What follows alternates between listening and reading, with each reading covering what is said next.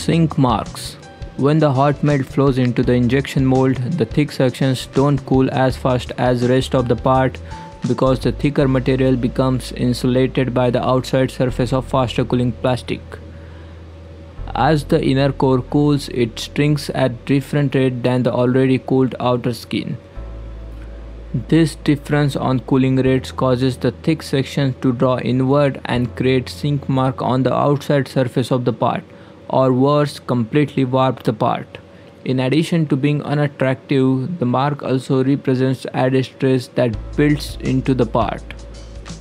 Other less conspicuous areas where sink occurs include ribs, bosses and corners.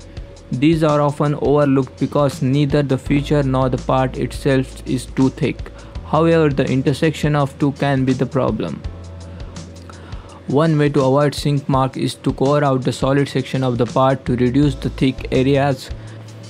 If the strength of the solid part is required, try using cross-hatched rib pattern inside the cored out areas to increase the strength and avoid the sink.